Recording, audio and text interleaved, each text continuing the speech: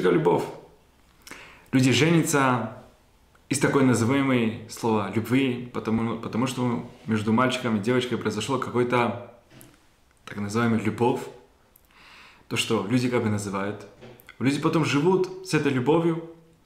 И потом где-то после жизни, после, когда настает настоящая реальность, где-то эта любовь иногда оно остается, или иногда оно исчезает. Как говорил один, одна жена, спрашивает своего мужа, мой дорогой, ты меня любишь? Говорю, да, конечно же, моя жена, конечно же, я тебя люблю. Но говорю, с того момента, как мы с тобой вышли замуж, после того, как ты мне последний раз сказала под хупой, что ты меня любишь, после этого я тебя не слышал, что ты меня любишь.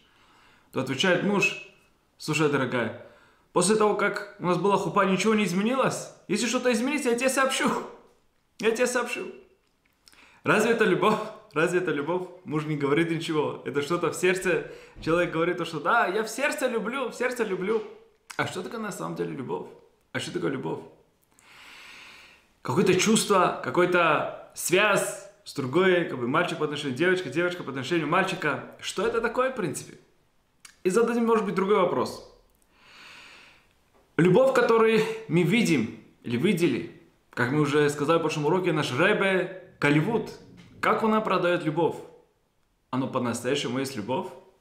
По-настоящему есть любовь? Как нам на самом деле Голливуд продает любовь? Голливуд продает нам любовь. Мальчик познакомился с девочкой и понравился. Она была такая красавица, она была такая умная, она была такая т.д. и т.д. Он влюбился в него, пошел за ней, бегает за нее, за ней и так далее, и так далее. И потом просит его на колени свою руку, я хочу провести весь мой жизнь с тобой, дорогой. Это есть тот любовь, и потом называют его I love you, я тебя люблю.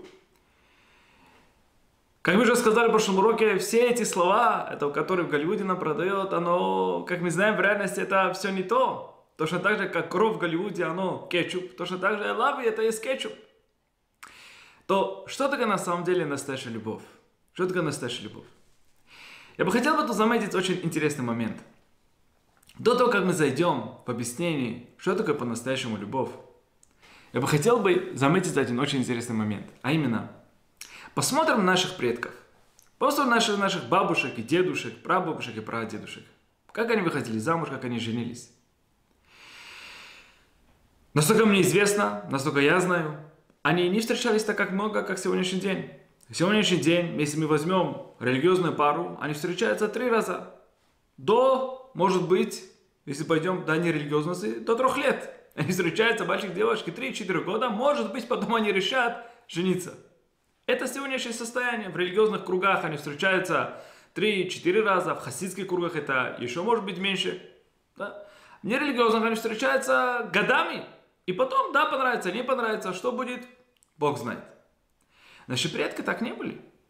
Наши предки, они смотрели, что бабушка звонил, понравилась как эта девочка, звонит, узнай меня, кто это, что это, какой у нее характер, что это, спрашивает у нее про нее, как она ведет себя, как она в школе, как она это, как она дома и так далее, как она с друзьями. И все. У меня есть хорошая девочка, мой внук. Пожалуйста, посмотри. Потом родители начали знакомиться. Потом этот мальчик и девочка, может быть, до свадьбы один-два раза встречались, и все. Все узнавали как? Что? То, что хороший мальчик, хорошая пара, подходящие друг другу. Беседер. Закрываем Word, свадьба,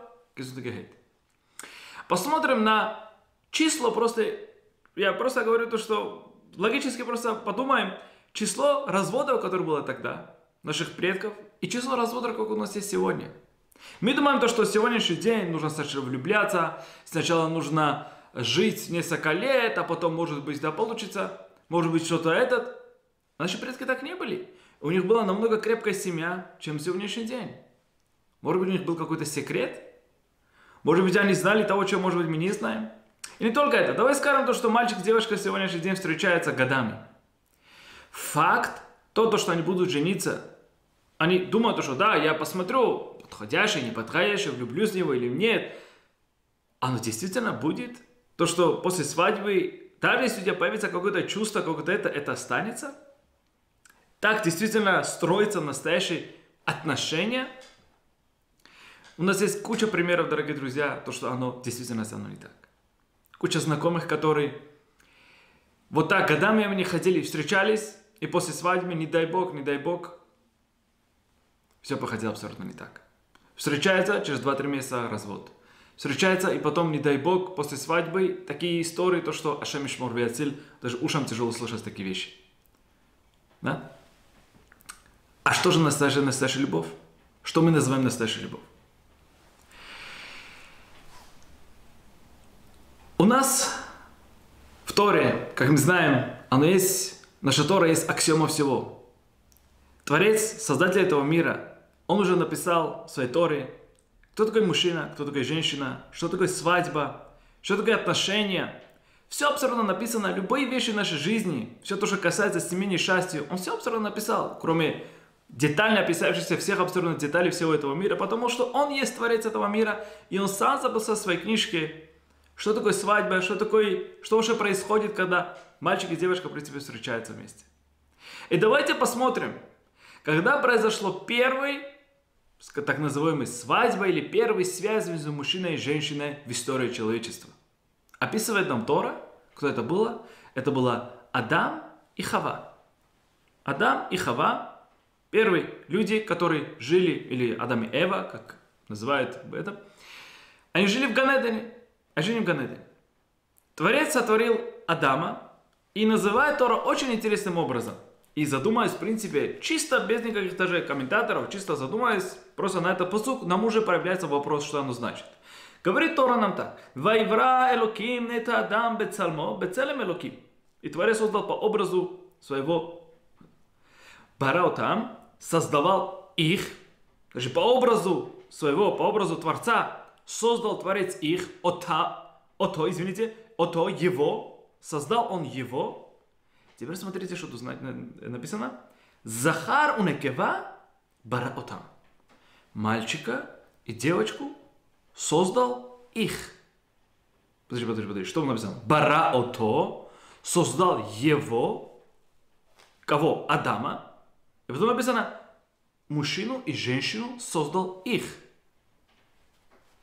Как это? Его? Их? Что было? Два человека? Один человек? Что тут происходит?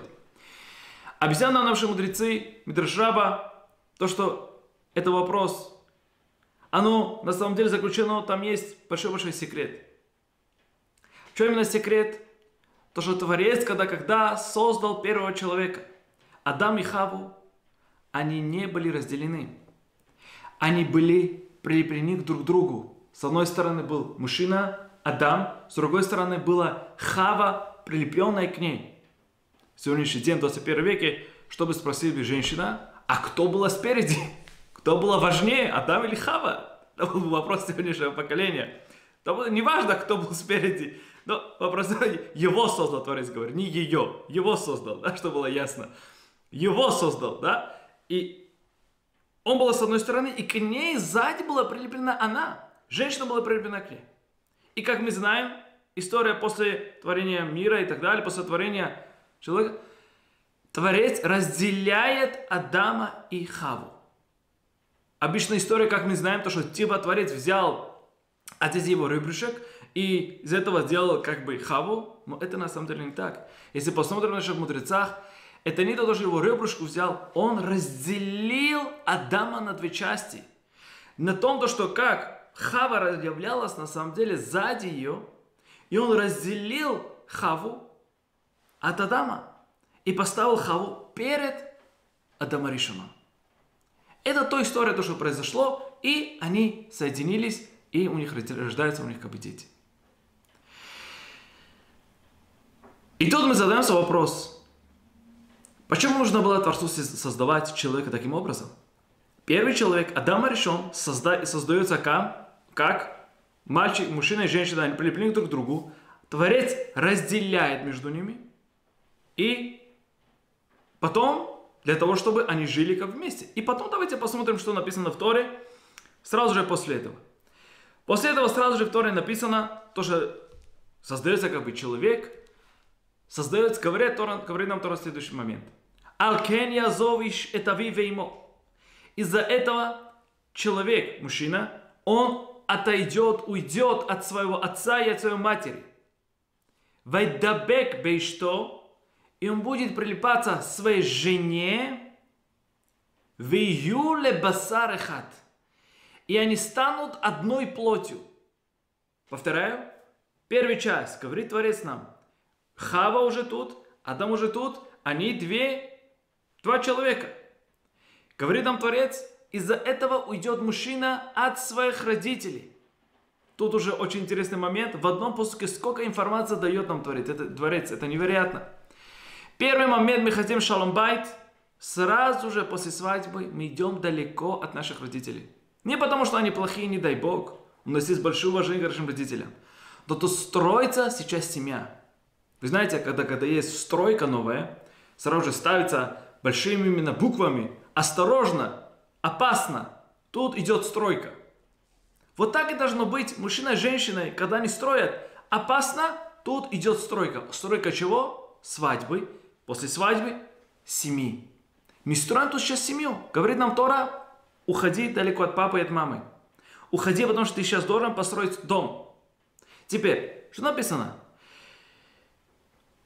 Вайдабек что? И он будет прилипаться. Дебук, лейдабек, дорогие друзья, это от слова клей, прилипаться приклеиваться. Он будет прилипаться к своей жене в июле басарахат.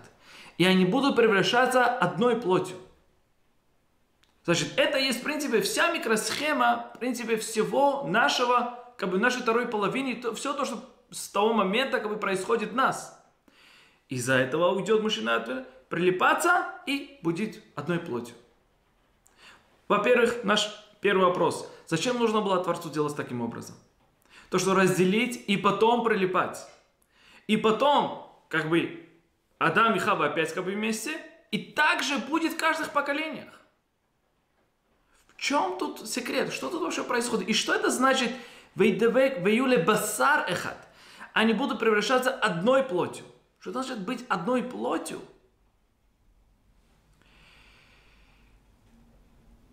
Говорит нам наши мудрецы, дорогие друзья, что это такое, когда мужчина и женщина были разделены?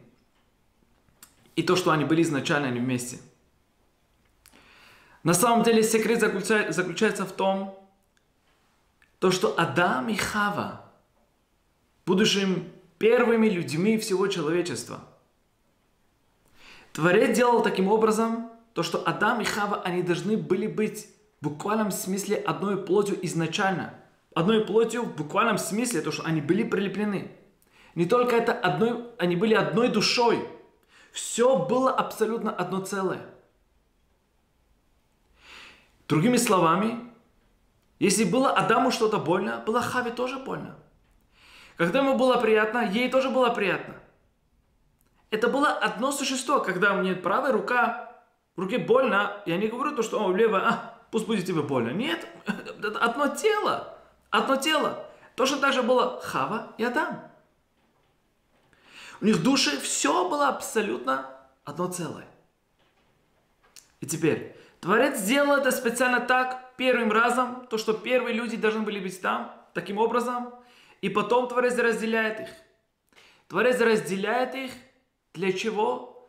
Для того, чтобы сейчас мужчина и женщина, являясь двумя, две разными как бы, персонами, что потом они присоединились друг к другу, и чтобы они стали опять-таки точно так же, как Адам и Хава до разделения, а именно одной натурой, одной персональности, одно именно существо. Тогда, когда мужчина что-то будет больно, женщина будет больно, женщина больна, мужчина больно. Превращ... Быть одной целью. Это то, что Тора нам говорит. И они соединяются вместе. И что? Объясняют наши мудрецы, в них заложено уже изначально от Адама Ришона, что такое быть одной плотью. И сейчас у них работа как? То, что они два персоны, которые в принципе противоположны, и тем, то, что они стараются вместе создавать семью, через, сейчас поймем, через что, мы называем сейчас это любовь, в нашем случае мы сейчас должны понять, что это такое, как это работает, будут прилипаться, мы должны понять, что это прилепление, как это. Тем, то, что они будут прилипаться, они станут одной плотью, так как изначально. то, что настолько они будут близки, настолько они будут... Это то, что как Адам и Хава одной, одной именно плотью. Идем еще дальше глубже. Не только это, дорогие друзья, это не только то, что между отношениях происходит таким образом, то, что настолько люди понимают друг друга, настолько они становятся именно близкими, а даже в духовном плане оно так. Рамбан пишет то, что души мужчины и женщины, они изначально одно целое на самом деле. До того, как они спускаются в мире, Творец разделяет их. Мужчина придет в одной теле, женщина в другой теле, и потом они соединяются вместе. Из-за этого это не то, что я беру чужую на самом деле жену, чужого человека. Это моя часть моей души. Это часть моей души. И понятно то, что над меня надлежит, сейчас мы поймем, что, но мне нужно проявить это, мне нужно работать над собой, мне нужно вот этот клей найти, вайдабекбе и что? Чтобы потом я опять стал каким? Одной целым. Одной целой. Теперь, мы называем это слово любовь. Задаемся вопрос, что такое любовь? Как это приходит? Что это? Дорогие друзья, как мы знаем, иврит, оно, оно лашона кодеш, святой язык, через чего Творец создал этот мир. Язык, который настолько святой, то что его каждая буква, каждый его, как он пишется, где он пишется, каждая вещь абсолютно есть свои значения. Мы же неоднократно сказали на наших уроках, из гематриот, софейтевод, расшейтевод, есть много-много вариаций всего, так как можно понять его Лашона Кодыш, настолько он святой. В Лашона Кодыш, если возьмем слово «любовь», как пишется? Пишется Алеф, Хей, Бет, Хей. Посмотрим, сколько число гематрии слова Ахава. Алеф это один, Хей это пять, у нас получится шесть, Бет это 2, это у нас получится 8, и хей, это опять-таки 5, получится все вместе 13. Ахава, гематрия 13. Что мы сказали только что в посуке, дорогие друзья?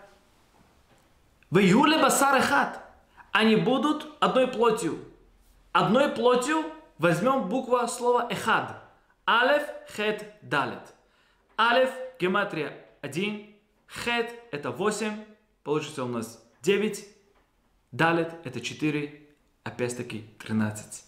Эхат равняется Ахава. Любовь. Любовь равняется 1. Значит, любовь это значит то, что мужчина женщина становятся одной плотью. И в Айдабек Бей что тогда написано? То, что они будут прилипаться друг к другу, это значит то, что они превращаются в друг другу одной плотью, и это то, что называется любовь, дорогие друзья. И я хочу сейчас вам показать еще глубже вещь. Мы все знаем историю Авраама Вину, так как он послал для своего сына Ицхака, чтобы Элиезер, его раб, нашел жену. Элиезер идет, ищет в стране, где Авраам, откуда Авраам Вину пришел, ищет жену для Ицхака, для своего сына. Приводит его жену, приводит дома. И что написано, что мы видим там? То, что Сара, э, э, Ривка и Яков, э, Ривка и Ицхак, извините, они абсолютно не знали друг друга. Они вообще не знали друг друга. Да? Они знали друг друга. Но что? Элиезер, увидев, настолько она хорошая, настолько она ведет тебе таким невероятным образом, настолько у нее большой есть хесед и все добрые дела, которые она делала именно с ним. Что, она сказ... что он сказал? Да, это есть именно подходящая жена для сына моего хозяина. Для сына моего хозяина. Теперь смотрите. Они не знали друг друга. Они не знали абсолютно ничего. И Ривка заходит в доме Ицхака. Я хочу вам показать, что написано в этом посуке, и сейчас мы поймем невероятно большой ключ ко всему этому. Говорится в посуке следующий момент. Воевио Ицхак, воевия Ицхак, Хаохела Сара Имо, и привез Ицхак своего будущую жену, как бы Ривку, в шатре своей мамы Сары. Вайках это Ривка, и он женился. Вайках это всегда слово, как бы имя, которое значит Вайках, Киха, мы знаем, что Вайках, это значит э, делать свадьбу. Они женились, да, по, по закону, как мы уже сказали в прошлом уроке. Вайках это Ривка, Ватахило Лейша. И она встала женой Ицхака. И теперь смотрите, Вае Эхавеа. И после этого Ицхак начал любить ее.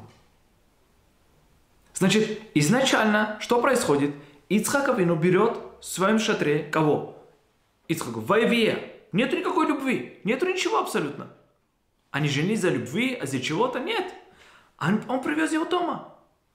И потом женился, и после времени Ицхак начал любить ее. Значит, любовь – это какой-то процесс, который мы сейчас должны понять, что это за процесс. Но явным образом Тора нам показывает то, что любовь это не вещь, которую мы сейчас называем любовь. Ицхак приводит, женится, они вместе, они все, они живут, и после времени он начинает любить ее. И только после этого написано «Войнаха Ицхака Храимо». И он успокоился от, а после смерти как бы, матери, да, Вайнахем, у него нехама, у него был покой, как бы после смерти как бы, своей, своей мамы.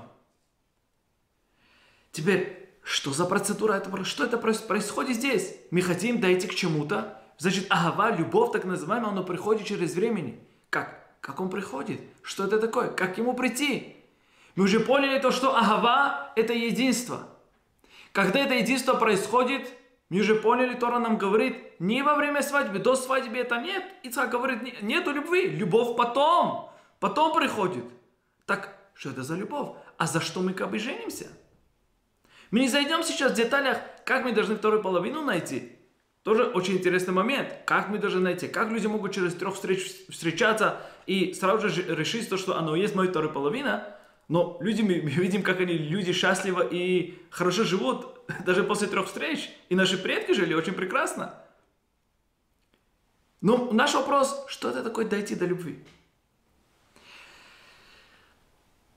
До того, как мы зайдем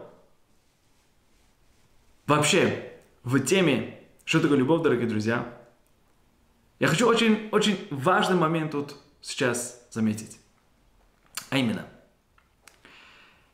мы должны осознавать то, что любовь, которую мы сегодняшний день, все человечество, можно сказать, миллиардами людьми называют, давайте посмотрим и задумаемся вместе, оно по-настоящему правильное выражение этого слова? Является ли любовь, которую мы называем «я тебя люблю», все то, что скрывается под этим словом? Дадим пример.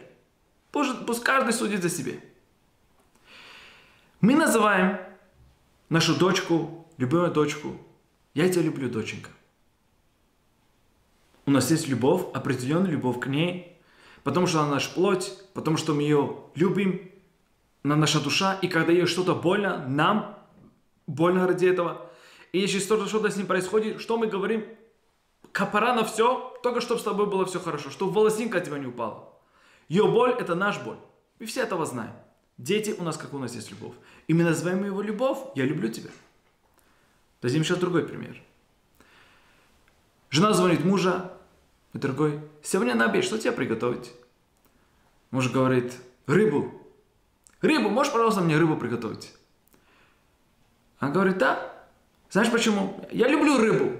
Я обожаю рыбу. Я обожаю рыбу. Обожаешь рыбу? Ты любишь рыбу? Ты называешь, что ты любишь рыбу?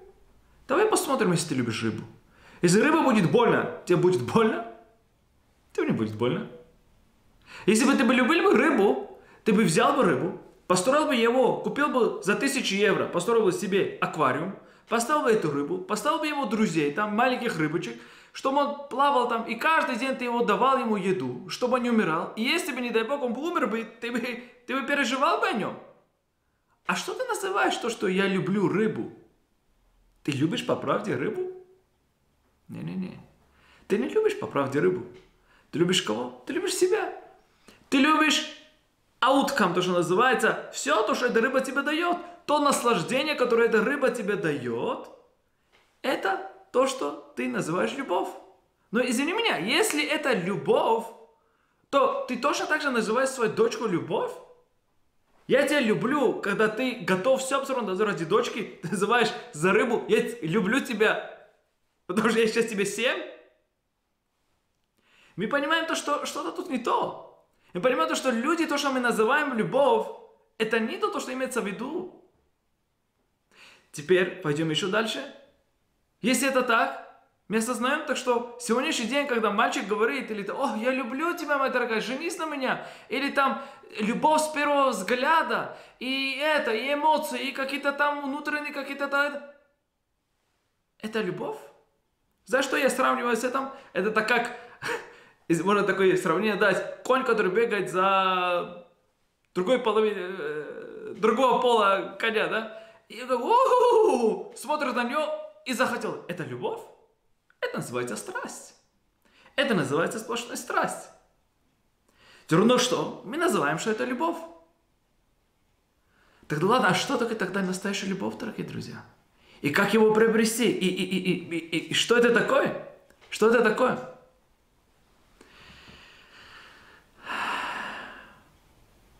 Настоящая любовь, дорогие друзья, она не любовь с первого взгляда. Точно так же есть любовь с первого взгляда, то, что также, не дай Бог, можно превратиться в развод с первого взгляда. Потому что это не настоящий. Это все вещь, которой мы, к сожалению, сегодняшний день перепутали две очень важные буквы. Есть на иврите слово «ахава», пишется «ахава». Есть другое слово, которое, назыв... которое начинается с одной буквы по-другому. Называется «таава». У них окончание то же самое, а первые буквы у них разные. Алеф, дорогие друзья, с алефом, алеф, хей, бет, хей, ахава – это любовь. Алеф – это первая буква алфавита, алеф, бет. Таава – это страсть. Тава, тав – это самая последняя буква в алеф, бет. Сегодняшний день поменялся слово агава на тава. Сегодняшний день люди Голливуд называют Агава называют люблю, люблю, но на самом деле имеет в виду я тебе желаю, тава, у меня есть страсть к тебе. Но это не любовь. Мы уже доказали, что это не любовь. Они просто перепутали именно буквами и так живут миллиардами людьми, к сожалению. Так и есть. Теперь, что такое настоящая любовь, дорогие друзья? И как можно к нему прийти? Любовь, дорогие друзья, это путь, который пара совместно проходит после свадьбы. Это путь, который совместно строится, так как мы сказали, пример с бизнесом. Так как два партнера, которые у них есть обоих один цель, привести эту компанию на высшем уровне, так как они могут. И это есть мужчина и женщина. То, что они строят сейчас отношения между друг другом, Настолько-настолько, чтобы они в буквальном смысле превратятся как одной плотью. Настолько-настолько, то, что когда одной паре будет больно, другому будет больно. Почему тогда, когда твоей дочке что-то не так, тебе больно, а когда твоему мужу что-то не так, беседер. Жалко, что они хуже. Дай Бог, как эта женщина бы сказала бы. Почему так? Ты не называешь, я тебя люблю, я его люблю. Потому что, что происходит? Есть что-то, какая-то разница. А в чем есть разница? Дорогие друзья, один из великих мудрецов, который жил в последнее поколение после Холокоста, поколение после Холокоста, Равилел Деслер, он раскрыл в своей книжке Михтав Мильяу невероятный большой секрет, что такое настоящая любовь. Любовь – это есть фрукт отдачи. Любовь – это есть фрукт отдачи. Это значит – Любовь – это не эмоция, которую я вижу красивой женщиной и за него, как слепой. Любовь – это чувство, ощущение. Это тогда, когда человек отдает. Чем больше человек отдает кому-то что-то, неважно, у него автоматом проявляется к этому вещи, объекту, вещи, человеку, кто бы ни был бы, любовь. То, что ему что-то не так, мне не так. Почему мы любим наших дочерей, наших почему сыновей, почему мы любим их? Потому что мы их отдаем, мы инвестируем, бессонные ночи. Мы отдали все души ради них. Мы свою копейку можем, не будем кушать себе хлеб, мы их отдадим. И когда им что-то больно, мы можем рыдать ночами, днями и ночами, не дай Бог. Потому что наши души мы их отдали. Приходит нам Тора, говорит, мой дорогой, в первую очередь это твой муж, и в первую очередь это твоя жена. И ты там должен построить этот любовь. Как? Через отдачу. Отдавай, отдавай, отдавай. Чем ты больше отдаешь, чем больше ты в конце концов становишься больше принимающим. Чем больше у тебя есть задача, чем больше у тебя есть ацлаха, чем больше у тебя есть успех в шалом байт, чем больше у тебя есть успех, чтобы мир, гармония, все дома. Потому что ни одна из сторон не думает, как же я могу получить что-то от другой. Мою другую половину. Я все время думаю, как мне отдать. Как мне радовать другую половину? Мужчина думает, как я могу радовать жену, жена думает, как я могу радовать мужа. И таким образом мы превращаемся в одной целой. И это и есть на самом деле настоящая любовь. Из-за этого Ицхак Авину написано, вначале написано, он любит. Потому что не о чем разговаривать, что за любовь. Любовь с первого взгляда это любовь. Женитьба из-за любви это любовь. Это женитьба, это любовь. Это не любовь, это не, это не банан, это ничего абсолютно. Просто красота, что-то какое-то потяжение, какая-то химия произошла между ними, какой-то там, что-то, что-то есть, эписвол, что-то, что-то есть между ними. Это не любовь. Любовь это очень высокий уровень, дорогие друзья. Это уровень, который достигается через времени. Вот когда вот родители через 20-30 лет живем вместе, дай Бог, чтобы пораньше, в них ты видишь на самом деле любовь. В их ты видишь, когда кому- кому-то что-то плохо, другой страдает от этого. Хочу рассказывать вам историю. Рав Алия Левин, Николай Равин Грузии, являлся прошлое поколение, один из великих-великих цадиков Иерушалайма. Невероятно большой цадик, дорогие друзья. Равари Левин один раз пришел в больницу своей женой и говорит, врач, нога моей жены болит нам. Врач смотрит на него, нога твоей жены болит вам? Говорит, да-да-да, нога моей жены болит нам. И он весь в эмоциях, весь этом. Он говорит, чей ваша нога? Не-не-не, моей жены, но нам болит нам. Нам больно сейчас, это наш боль. Понимаете, до куда может человек дойти? Да? Нам больно это все. Нам больно это все. Да? Теперь, Бевадай, это работа над собой. И это, на самом деле, вход вообще в семейное счастье. Вход, чтобы понять, к чему вообще мы хотим, что такое любовь и к чему вообще мы должны вообще стремиться. Тут понять в этот момент, дорогие друзья, это не то, что два человека, которые стоят, которые борются возле, возле друг друга, это два человека, которые идут одновременно. Одновременно мы идем одной целью. Я сейчас вспомнил, была Правдивая история, правдивая история с одним из королей, мне кажется, Люй IV, один из королей Франции, королей Франции, попросил, чтобы его привезли самых сильных коней из всего мира. И после долгой, как бы, это то, что они искали, искали долгое время, как бы, коней, то привезли его одного коня из Египта, и другого привезли из арабских стран. И король был во всем в восторге в этом. И назначили время, то что вот-вот-вот, в этот день король выходит своими конями в своем троне, и чтобы все увидели этих невероятных, самых сильных, самых мощных именно э, коней. И действительно это было, но произошло так называемый на иврите фашла. Фашла, что такая не, неудачный день. Пришел дождь, весь, э, грязь, все абсолютно. Но, беседер, король должен выйти. Король вышел. И что? Король вышел, и все люди встречают это, то все, большом радости, этот. И он сейчас идет со своими конями, в своем троне, это. И, к сожалению, этот его как бы меркава, его как бы трон, и, и Сусим, и его кони, они зашли в какой-то там грязь, какое-то болото, какое-то место, и они не могли уже выходить оттуда. Никак не могли выходить. Старались так, старались так, они застряли, никак чего не могли. Представляете, такой буша и какой именно стыд. Вся по сторонам, по сторонам старается, ничего, ничего не вышло.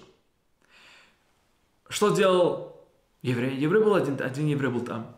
Пошел королю и сказал, то, что король, если вы мне разрешите, только с вашего разрешения, могу ли я вам помочь? У меня есть, мне кажется, идея, как я могу вытащить ваших двух сильных коней из грязи, которые сейчас упали. Король Бесендер постарается делать. Так он привез своих двух коней, привез двух, двух коней и завязал из этих двух коней, из этих сильных коней, и хоп, ударил на них, и они так абсолютно, удар... так они это делали, быстро-быстро начали бегать, и вышел король с этими двумя конями, и все было хорошо. Король поймал этого еврея, он говорит, еврей, если ты мне расскажешь, в чем секрет, я тебе сейчас будет нехорошо, будет нехорошо. Да расскажи мне, в чем секрет. Я привез самых сильных коней всего мира, и ты за двух коней, ты мне, они сильнее, чем эти мои кони, в чем твой секрет? Такой король говорит, очень просто, очень просто. Смотри, говорит, твои кони, которые ты привез, откуда ты их привез? Один из Египта, а другой из арабских стран. Когда ты ударяешь на него, как когда ты ударяешь на египетского коня, что он говорит? Другой, который из арабских стран, что он говорит? А, делай ему больно, больнее делай ему, больнее делай ему. Когда ты ему арабского коня ударяешь, он радуется. Египетский он радуется. А говорю, ударяй. Они не работают вместе. Они, они в двух разных местах выросли. Они каждый думает, что чтобы другому было больно, чтобы другой работал больше. У них нету совместной цели. Другой король. Я моих двух коней, я купил здесь, во Франции, здесь я купил. Но знаешь что? Они братья, они близнецы, они вот так, они все делают вместе. Они знают с рождения, их не знают друг друга. Каждый одному больно, другому больно. Из-за этого, когда я ударяю одному, он чувствует, что вместе мы должны пойти, вместе мы должны потянуть. Из-за этого был успех. Из-за этого был успех. Это пример, который дает нам на самом деле очень сильно задуматься, что такое настоящее соединение, когда настоящее именно присоединение именно друг к другу. Теперь, дорогие друзья, когда мужчина и женщина, они соединяются вместе, и когда между ними есть любовь, как мы сказали, Ахва – это 13. Любовь – это 13, и Эхат – одно тоже 13. Когда мы, я мужчина по отношению к моей жене, я один, я по отношению к моей жене, у меня есть любовь, у меня есть единство, и жена по отношению ко мне есть единство, есть любовь, тогда что происходит, дорогие друзья? 13 и 13. У нас есть одно и то же самое цель. Мы соединены, мы одни. Знаете, что выходит? 13 плюс 13? У нас появится 26. 26 – это число гематрии имя Творца. Юд, Кей, Вав, Кей. Тогда, когда есть соединение между мужем и женой, когда есть единство, тогда шхина Творца находится между нами. Шхина Творца есть между нами, когда есть любовь. И когда это происходит, начало всего этого, это когда, когда есть еврейская свадьба, когда мужчина говорит жене, арет мекудешет ли бетабат зот, когда Моше в Израиль, Этим образом их души соединяются вместе, и через время, никогда не делая все так, как положено, у них есть этот хибур, у них есть это соединение. Тогда Творец тоже есть между ними. Как говорит Гемара, Заха Шхина Бенехем. Если мужчина и женщина удостоились, то Шхина Творца находится между ними. Потому что если возьмем мужчина, как пишется мужское имя, Алеф Иш, Алеф Юдшин. Женщина пишется Алев Шин Хей. Если возьмем в мужском имени, у нас есть одна буква Творца Юд, у нас есть в женском имени одна буква Творца Хей. Юд и Хей. Если они удостоились, и они живут кошерным и правильным образом, у них есть единство вместе, и они женились, их души соединены. Не то, то, что 20 лет мы живем вместе, или 3 года мы встречаемся вместе, мы думаем, может быть, когда-нибудь женимся. Когда есть душевная связь между нами – Шхина вместе, мужчина и женщина одно целое. А если нет, не дай Бог, говорит Творец, Юд и Кей. От мужчины уходит, Юд уходит, от женщины уходит Гей. И остается что? Слово огонь. Эш. Ржут друг друга. Идут воевать просто друг друга. Это то, что происходит. Шхина, когда есть вместе, есть шалом, есть ахва, есть ахва, и все абсолютно вместе. Шхина, Шема, когда есть, все есть вместе. И тогда приходит и парноса, и благословление, и все абсолютно. Но что? Нужно нам соединяться. Нам нужно соединяться между друг другом. 13.13 выдает имя Шема Ютке Вавке. И сейчас, как мы можем этого делать, дорогие друзья? Как? Наши мудрецы в многих местах они показывают нам этот очень интересный момент, который связан не только здесь, а очень многих работа человека над собой и вообще реальности, в принципе, человека в этом мире. Человек, он состоит из трех вещей, где он может влиять на реальность, на миры, на, на все абсолютно. Мысли, разговор и действия. Когда мы будем с нашей второй половинами одной с любовью и пониманием нашими мыслями, нашим разговором, нашими действиями, это есть путь к настоящей любви. Начнем первый пункт. Мысли. Человек очень часто вспоминает о что? Очень человеку можно делать кучу хороших вещей, мы прекрасно знаем это. Но одно плохое дело, человек моментально забывает абсолютно все. Моментально. Моментально. Человек творит, делает человека с рождения, куча хороших, высоких вещей. Один раз человеку голова заболела, творец, где ты? Где ты? Подожди, а вчера то, что было тебе хорошо, еда была, ты женился, у тебя есть дети, делал работу, делал парноса. Это где был Творец? Творец не был тогда. Творец тоже был тогда. Почему ты так? То же самое жене. Жене, жена столько делает нам хорошо. Один раз, может быть, что-то делал, не дай Бог. Все. Это стоит наше здесь и не выходит от нашего разума. Дорогие друзья, если мы хотим, чтобы был шалом байт, если мы хотим, чтобы царствовал в нашем доме мир – по моему мнению, это приводится в наших книгах, но я даю этому больше именно фокус, потому что, по моему мнению, это есть самый первый камень, который мы должны поставить для шаломбайта. Это наши мысли.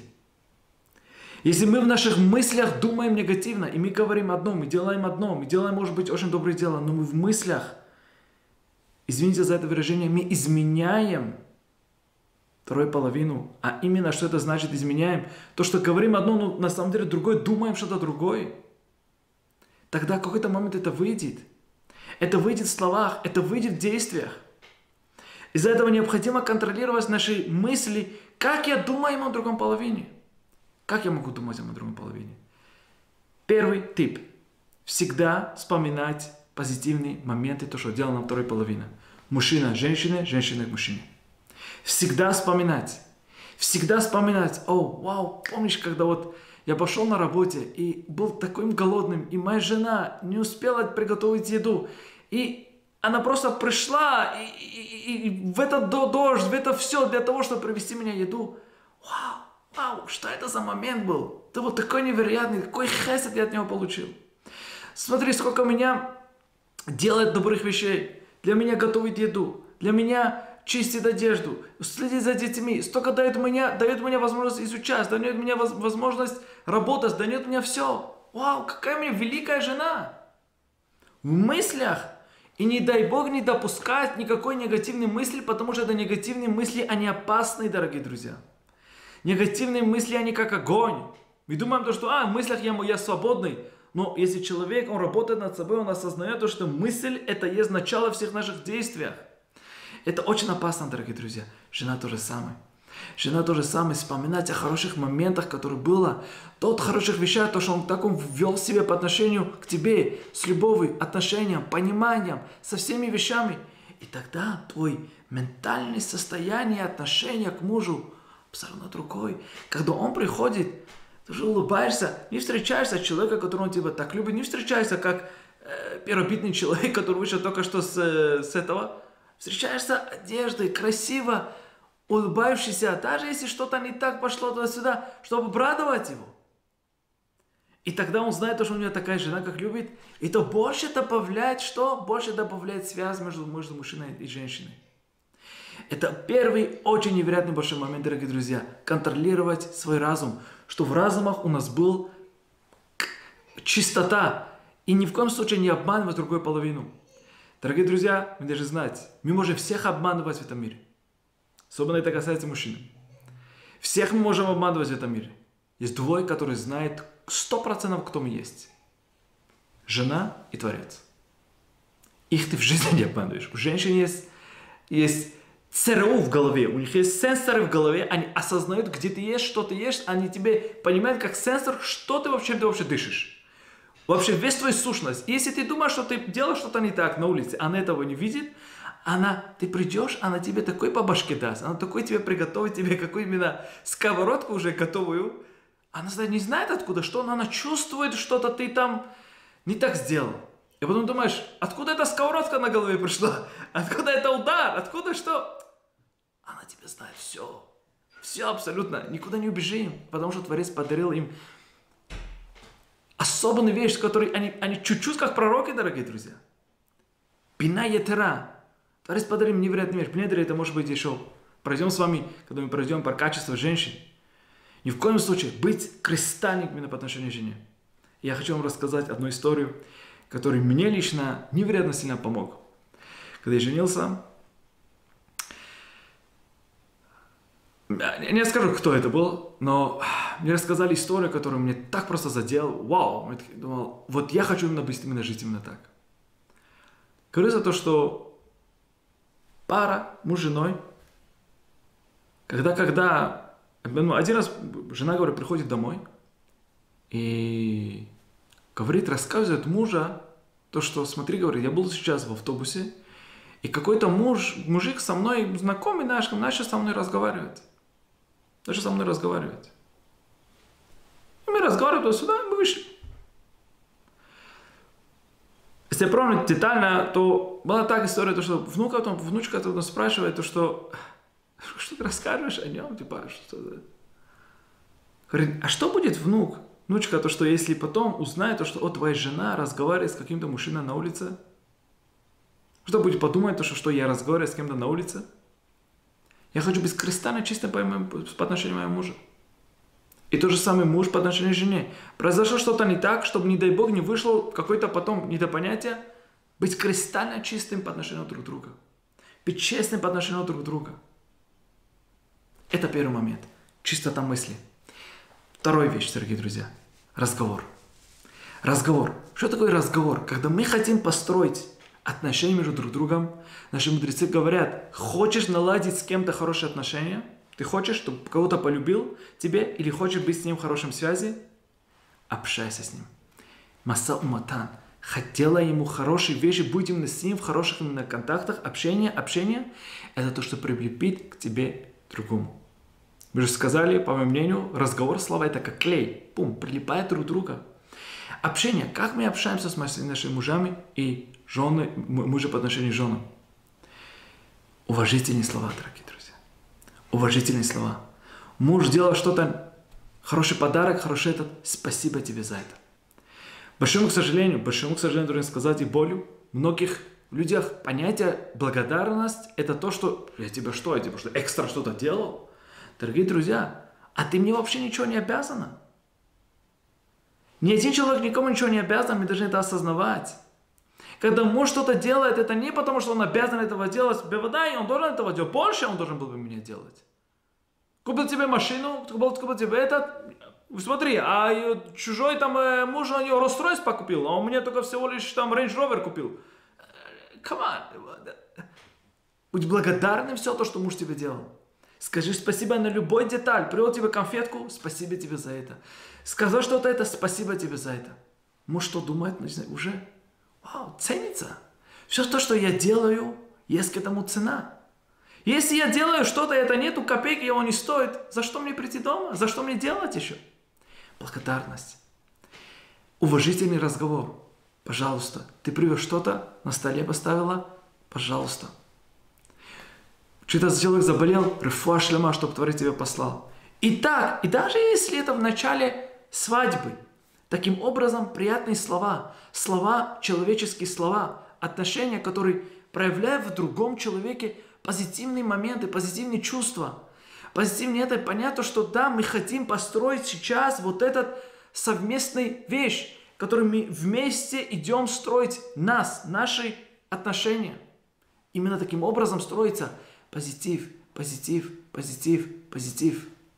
Позитивные слова. И потом других появить вот этот тоже хорошие эмоции, хороший этот. То же самое муж по отношению к жене. Сказал, делала что-то, благодарю тебя за это. Мужчина очень тяжело. Мужчина очень тяжело сказать одно слово. Извини и спасибо. Извини, спасибо, потому что мужик, он гордый. Полагается мне, даже качество короля, да? полагается мне этого, да? Ни к чему ничего не полагается, мой дорогой. Почувствуй себе то, что ни к чему, абсолютно ничего не полагается. Чувствуй что? Что ты должен всегда хочешь отдавать. Отдавать, и любой вещь, который приходит, скажи спасибо на это. Спасибо, благодарность, бевакаша, пожалуйста, чем я могу тебе делать? И давайте дадим еще маленький пример. Мужчина идет на работе. Какой приятный будет момент, мужчина идет сейчас на работе и приходит только вечером. Если хорошая, мудрая жена, 4-5 раз она позвонит мужа, где ты находишься, что с тобой, как ты, все нужно это сюда. А что переверяешь, если мужчина, мужчина может позвонить своей жене тоже? Представляете? Построить вот именно хорошее именно чувство жене. Хорошее чувство жене. Звонит своего мужа, своей жену. Жена. Ой, дорогая. У меня есть вопрос, который я не знаю, как ответить этот вопрос. Я уже неделями, месяцами думаю, хожу уже об стенку, ударяюсь везде. Я не знаю, в чем ответ. Она уже в шоке. Муж, что с тобой? Что за вопрос у тебя? Она говорит, он говорит ему, ей, моя дорогая, я не знаю, какой у меня была заслуга, чтобы я удостоился такой хорошей жены, как ты. Чак. Отключил телефон. Она жена с ума сойдет, с ума сойдет от радости. Представляешь, она сейчас ходит, она, ты жди сейчас, пиздежечный отель, такой еду, такой...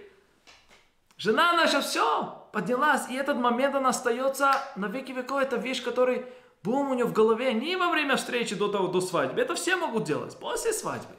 Взять просто такой позвонить. Взять, прийти, что-то делать особенное. Делать приятный, приятным словом разговор. И очень важно уважительный разговор.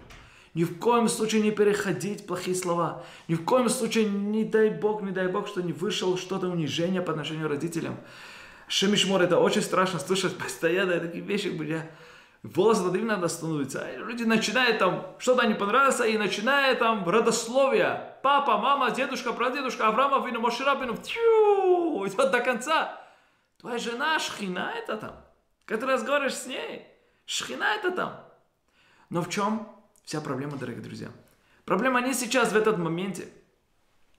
Проблема, если мы хотим быть на самом деле хорошими, хорошую семью построить, нам нужно построить одну самую, элемент, самую элементарную, самую сильную именно чип в наших головах. А это что? Это следующие слова, дорогие друзья. Я хочу. Мой цель есть только радовать мою жену. Я хочу радовать только мою жену. В моих мыслях, мои желания это есть. Если изначально мое желание, то что только радовать мою жену, и жена то же самое. Я хочу быть хорошей женой. Я хочу быть хорошей женой. Как я могу улучшаться по отношению к нему? То этих вопросов уже нету вопросов, то что он ругается, он так, он ведет себя, потому что он постоянно думает, как же я могу его радовать? Как же я могу его делать приятно? Ему не нужно уже Роллс-Ройс купить ее. Ему нужно что? Пойти в магазине и купить что? Маленькую конфетку ради нее. И это уже радость, потому что хочу ее улыбку видеть сегодня, потому что это радует ее. И таким образом мы становимся одной цели. Потому что у нас у обоих есть цель, что я хочу радовать ее, я хочу радовать его. Я хочу быть хорошим мужем, я хочу быть хорошей женой. И вот таким образом оба стороны становятся отдавающей стороной. Никто уже не принимает. Мы в прошлой неделе сказали то, что пример, когда мужчина, женщина, мальчик, девочка встречаются, они хотят что? Принимать. Почему ты хочешь выйти замуж?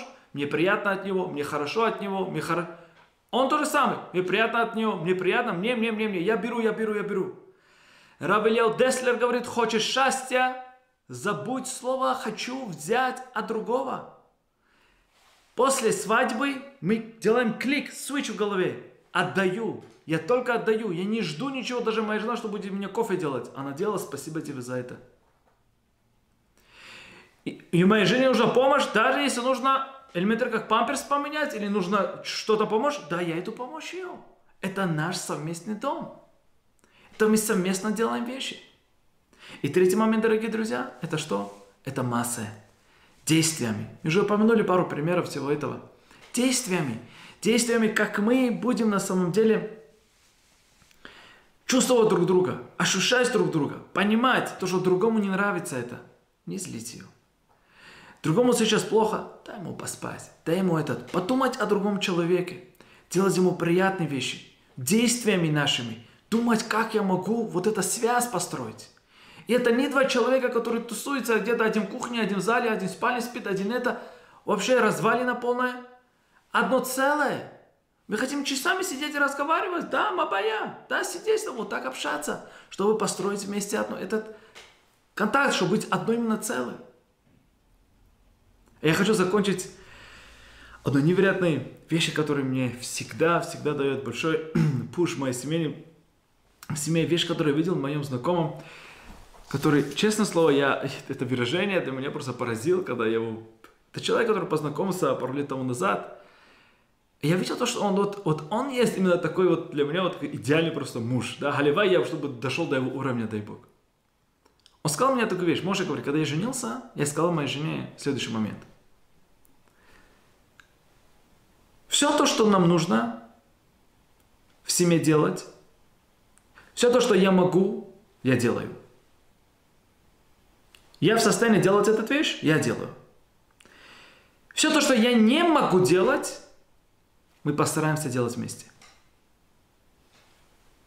Подумайте, мудрость. Он не говорит, это твоя задача, мыть, поломить, одежду делать, детей, еду, не-не-не-не. Все то, что я могу, как я могу.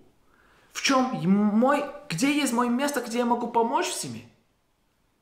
Где я могу помочь, и там я могу помочь. Все то, что не могу, я тебе помогу. Песах убрать. Сейчас был недавно, дорогие друзья, Песах. Песах, ты не, ты не знаешь, как убрать вещи. Но вещи подвинуть, передвинуть, что-то делать. Делать вещи, которые ты да в состоянии, ты да можешь этого делать. В этом твое место, где ты можешь помочь. То же самое она. Есть вещи, которые нуждается муж. И ты не в совсем делай то, что ты можешь этого делать. И если каждая сторона будет думать о друг другом, мой муж то же самое, я делаю все то, что я могу, то представляете, какое счастье будет между мужем и женой? Это как муж и жена, когда встают после родов, жена там, э, неделя после родов, бессонная ночь, уже неделями она не спит, неделю уже не... Э, шебешмор. Он тоже не спит того, что плачут, ему нужно тоже на работу и так далее. Три часа ночи опять ребенок, ребенок просыпается с такой именно сиреной. Сиреной, знаете, как дети, когда просыпаются, шемишвор начинается в мозгах уже, ты думаешь, что сейчас это уже полет, ты думаешь, взлетишь сейчас куда-то. Что обычно происходит? Мужчина говорит, ну, жена, иди вставай, ребенок просыпается. Жена говорит, это же твой ребенок тоже, ты вставай. И начинается, и ты, не ты, не ты, не ты, не ты, ему нужна еду, ему нужна... Настоящий муж и жена, которые люди любят друг друга. Мужчина услышал это, уставший, все, да? Ну что? Спрыгает. Спрыгнул Дима с кровати и хочет приготовить для, для, для ребенка еду. Хочет приготовить для ребенка еду. Да, он знает, сейчас ему тяжело будет на работе что-то. И жена то же самое. Где они встречаются? В кухне. Дорогая, я хочу приготовить. Иди садись спать, ложись спать. Недели ты не спала, ты родила ребенка. Иди, переживай за ним. Муж говорит, жена говорит, не-не-не, да, я мало поспала, но тебе нужно завтра на работу. Они спорят, кто кому поможет, кто кому будет помогать. Это есть тот именно любовь, который каждый чувствует друг друга. Каждый друг друга именно чувствует. Дай Бог, чтобы мы достигли это высокого качества, которое есть в семейном счастье. Это работа над собой, дорогие друзья. Это работа, которая приходит со времени, потихонечку-потихонечку люди доходят до любви. И дай Бог, что мы удостоились, что мы дошли потихонечку-потихонечку. И мальчик девочек, которые встречаются, и у них есть какая-то химия, чтобы ни в коем случае не остановились на это. Это только начало пути. Это только начало пути, все то, что мы должны строить с Божьей помощью годами. Это строится потом. Потом, когда ты действительно чувствуешь, когда ты становишься одной целью, одной целью, когда ты полностью хочешь отдавать именно друг друга, тогда это есть настоящая любовь.